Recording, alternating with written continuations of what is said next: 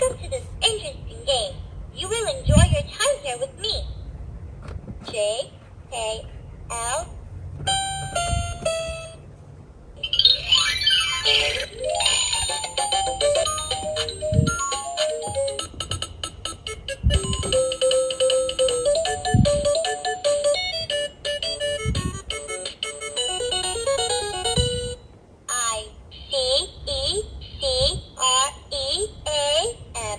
Ice cream.